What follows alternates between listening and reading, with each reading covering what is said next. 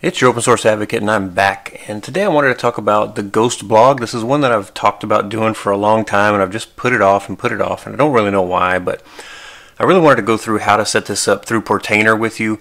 Um, I found that there was a little bit of a, a, a, hurdle when I when I tried to set it up for my own uh, site which is if you guys have been going there you'll know it and it's shownotes.opensourceisawesome.com um, and, and the hard thing I found was once I got it installed even if I set up my reverse proxy and everything like that, it kept trying to route me to the local host address and I couldn't figure out why. And, and finally, once I did and, and I figured out what I needed to change, it made everything work like it should. So I just wanted to go through one, how to set it up with Portainer, two, how to set up your reverse proxy, and three, what, what to ad address in, in your actual container to make the Ghost blog work correctly because it's not hard. It's just not something that's built into the template for some reason. So we're going to use the template and, and we'll kind of check it out and see how that works. I want to say thank you to all of my subscribers and all of my patrons over at Patreon. Seriously, you guys make this so worth it for me to do these videos every week.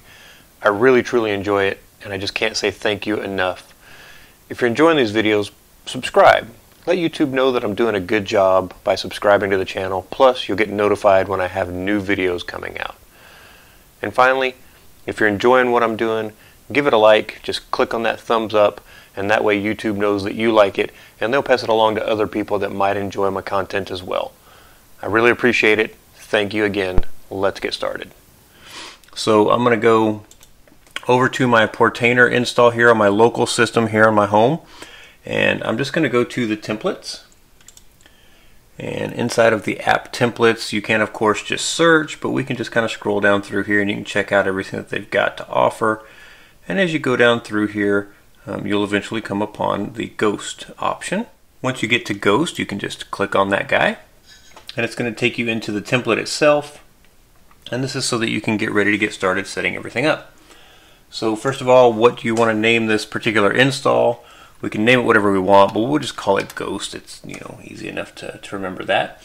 The network is going to be a bridge. That's probably fine. We don't want to use the host. Um, we don't want to use the, any of these networks that are down here, so we're just going to let it use the bridge network. Uh, enable access control. Okay, sure, that's administrator level. Uh, deploy the container. So this is really kind of all of the options that we get kind of out of the gate, but that's okay because this is what we want to do. Um, there are some advanced options that we can set here if we want to out of the gate. And a couple of things that I need to set are some ports. So um, basically the host, uh, you know, here is, is kind of what we need to check. And my host, I already have port 80 taken by Nginx Proxy Manager, so we don't want to use that port.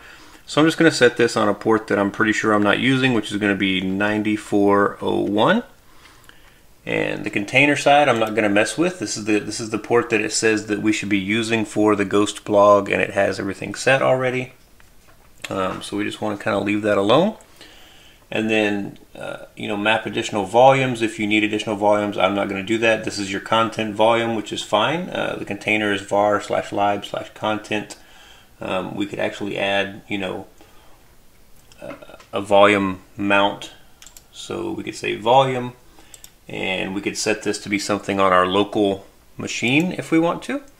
Um, so you can kind of pick these different volume locations. This is all stuff that you need to set up. So for now, I'm just going to leave it on auto. That's fine. And then host file entries, again, don't have any of those. Labels, don't need to put any labels. And then host name. Uh, so it says leave empty for the Docker default. We can just call this, you know, um, so this is going to be running on my routemehome.org website. So we'll just call this blog.routemehome.org. And now we're going to go ahead and deploy the container. And of course this starts spinning and it takes a little bit of time to pull down all the images and do everything that needs to do, but it should give you a, a message once it's ready and take you over to the page where it's set up. Alright, that didn't take very long at all. So there it is. So if we go look, we have Ghost running now, and we can actually click in here and see what's going on inside the container as far as the logs go. And it's going to tell you that everything looks like it's running and it says booted in 9.986 seconds, which is pretty dang fast. So we'll actually try to hit the IP address. That's 192.168.7.125 is my server. And we set 9401 and it comes up and you're probably thinking wow okay great that came up no problem super. Um, and, it is pretty super. Uh, so if I go to author you're gonna get this. So you notice suddenly I get this unable to connect because it changed it to localhost and this is the problem that we run into and it changes it to a different port and everything like that. So inside of Ghost there's a setting that says hey I need to go to this particular uh, address and you need to go and change that in order to get Ghost to, to work correctly, but you can't get to the settings and things like that a lot of times because you run into this problem where if you try to load anything that would be the settings, um, it won't work. So if we don't just go straight to the IP address, but we say slash ghost, it'll go and it'll let us into the settings here. And it's going to tell us, you know, create your account. So we'll go in and we'll say, you know, site title. So this is uh, my blog. You can kind of name this whatever you want. Put in your name, email address, and a password that is strong.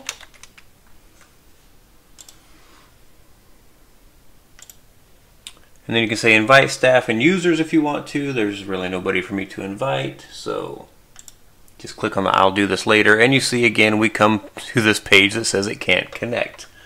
Um, so it's trying to go to the site on that page but you have options down here and you have settings and things like that. So we want to go into the general settings. So title and description, site, time zone. So these are all things that you can change and as you keep going down you're going to see all the different settings that you have but there's nowhere to actually set the URL for your site. So what we're going to do is we're going to go and we're going to go back into Portainer. We're going to open up our actual container here. So we're going to go into containers. We're going to go into Ghost and we're going to click on this little, uh, we're going to stop the container. So we'll click on stop and then we're going to hit on edit. We're going to leave all this stuff pretty much alone. Uh, we don't need to touch any of the stuff that we already did.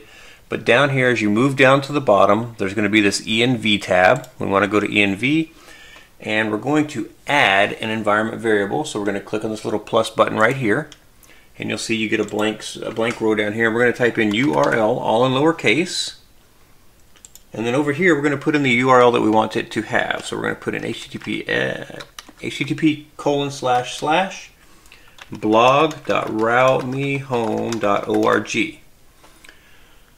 So once we type this in, we need to go set up our stuff on Nginx Proxy Manager. But first we need to um, just tab out of this field to make sure that it gets taken. And then we're just going to say, you know, deploy the container. And it's are you sure? So we're going to say, yep, replace the one that's there. And we'll let it do its thing. And it's going to tell us, okay, I did it. You know, I should be back up and running. So now we're going to jump over to our Nginx Proxy Manager and we're going to add a new host. So we're going to click on Hosts, add a new host. And again, for routemehome.org, I have a wildcard entry set up. So it's it's an asterisk that just anything I type in routemehome.org tries to come to my home server and then Nginx Proxy Manager handles that traffic for me. If you don't know how to set that up, I'll link to a video uh, in the show notes where I talk about how I've set that up in the past. Um, I'll link to videos on how to install Nginx Proxy Manager, and I'll link to a video on how to install Portainer, so you can follow along and do this yourself. Because Portainer is a really a really great tool. Um, highly recommended if you're running Docker containers and things like that um, to visualize your Docker containers in, in and of itself. So what we want to do inside of Nginx Proxy Manager is we're going to type in the name of the site that we just gave. And then in this in this screen you need to either hit tab or hit enter so that it actually turns what you typed into a little chip looking thing here with that little kind of background on it. And then we're going to leave HTTP and we're going to give the uh, container uh, address here. I'm going to put in the port number that I gave it and then right here I'm just going to put in the actual Docker 0 container address which is 172.17.0.1. If you're not sure what this address is, you can go into Portainer. You can click on Ghost, and then you can scroll down and you can grab this gateway address. So right here is 172.17.0.1, um, and you can see what that is. And you can also do this through the command line if you need to, but for now we're going to use Portainer for everything that we're doing. And we're going to say save. And then we're going to go here and click on the blog.routemehome.org. And you'll see we get the actual Ghost web page that we're expecting. And it's got a URL. So now if I go and I click on this and I just hit slash ghost, this will take me to the login page and I need to use my username and credentials or my email address and my credentials that I created before. And now you see I actually get something here whenever I come up to the main page. So down here I can go to my general settings again and I can check out all of my settings and everything appears to be working the way that you would expect. Now I haven't secured it yet so it's just HTTP. So if I want to secure it I can come back into Nginx Proxy Manager now that everything is working. I can click on the little three dots here for that entry I made and I can click edit. I can jump over to SSL and I can drop this down and I can say request new SSL certificate. I'm going to say force SSL. I don't want my users going to the non-SSL site. And then I'm going to make sure it's got my email address, which it does. I'm going to say I accept, I'm, I'm going to agree to the terms of service for Let's Encrypt and I'm going to hit save. Let's Encrypt's going to challenge this site to make sure that it can reach it on port 80, which means I'm the owner, and then it's going to give it the actual credentials that it needs. So now, if we close down the window that we had open um, here, and this one, and we go back into here, we can click on this, and it's going to give us the secured site with a Let's Encrypt certificate, so there's no warning about you're trying to get to this page that doesn't have a certificate. And now you can start actually running your Ghost blog. So we can go, you know, slash ghost to get to the admin panel. And again, because now it's secured, it wants you to log back in one more time. And let me just put in the right password. And we're set. So now you can start creating posts, you can do drafts, you can do scheduled posts, you can do all kinds of things on your Ghost blog. But on top of that, you can go to design and you can pick different templates that you want to use for Ghost blog. You can set all kinds of different things here. You can kind of create your static pages that create your menu at the top. You can change the look of it. You can download other themes. I mean, you can just do so much stuff with Ghost blog really. It's a really tremendous tool. Um, it's a great, great uh, blogging application as well. Um, you know, the bare minimum stuff that you need to know is when you want to create a post, you hit the plus and you put in a title. So, my first blog post. And then you come down here and you see the little plus. If you click on this, it gives you a lot of options about different things that you can actually do inside of the software. So you can link to videos, you can add photos, you can do things, you can link to Twitter, you can link to Vimeo. I mean, just all kinds of stuff that you can do right there. But then you can also just start typing. Um, so if we just do escape, I think, maybe not. Uh, let's go back. Let's just say we're going to do markdown. Maybe. There we go. Okay. So if you don't know markdown language, don't sweat it too much, but you can learn it. But it's pretty basically uh, pretty basic. Uh, if you want to use um, headers, so if you want to create a title section, just do a pound. And when you hit space, it's going to make the font bigger. So my first title. And then I can say, this is my blog. Thanks for checking it out. And of course, you want to spell things correctly. And once you get to the to that point, you can hit enter and you say, okay, now I want a kind of a subtitle. So just pound pound and subtitle. This is my subtitle section. And let's just say you wanted to create a link on one of these. So if you highlight the text, you'll get this little hover where you can do bold, italics, and you can change this to headers. So let's just say that I was like, oh, I want this to actually be a header. I can start jumping it to header section size. Um, if you want to make it a quote, you can do that, and this is what it looks like as a quote. Uh, if you want to create a link, it'll let you type in the link. So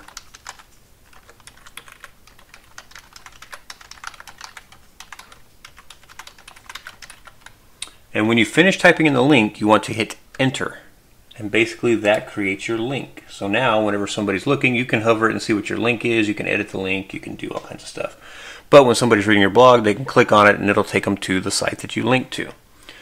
Um, so there's a lot of really cool stuff here. Uh, and then of course you've got you've got the ability to create a snippet out of the text that you're highlighting. So you can do code formatting, you can do all kinds of things. So Markdown is really great.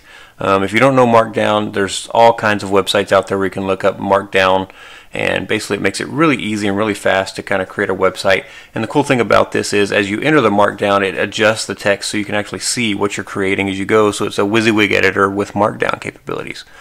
Um, when you're ready, there's the publish uh, button over here and you can just either set a schedule or you can just publish it right away. And then the little gear lets you set things like different, uh, you can set different aspects of the actual blog post. So you can set what the URL is going to look like. So it kind of adds a, a hash on the end of it and you can pick uh, you know publish dates you can change tags you can set up just all kinds of stuff about this post which is pretty great so so this is really in a nutshell um, you can go back and now you're gonna have a draft that says my first blog post right here. And that means you haven't published it yet but you can get to the draft and you can come here and you continue editing or you can do whatever you want. I didn't have to really click anything to save. But if you're ever in here and it starts giving you a warning about, hey, you're about to leave this page and it doesn't look like you saved, you can just use Control S, like Sam, on Windows or Linux, and it'll save the page, and then you'll see this little thing pop up here. Um, on, on a Mac, you can use Command S, same way. So this the save shortcut hotkeys basically work here on this as well to save this as a, as a draft um, so you can get back to it and make sure you have your, your document saved. So they have some default stuff, uh, you know, put in here that you can go check out. And again, if you just take away the, the slash ghost part of the URL, you'll go back to your page and you can see the stuff that they have here for you to check out. And then you can kind of get rid of the, the, the default stuff and you can move on. So this is Ghost. Um, it's really pretty easy to set up. But knowing that little trick about getting in here and adding that extra environment variable for URL, that's really what will get you going with the Ghost blog. So hopefully that'll be helpful to you guys uh, if you need it. Um, I really hope that it, it helps you out. If you enjoyed this video, like, subscribe, tell your friends about it so they can come along on the journey with us, and I'll talk to you next time.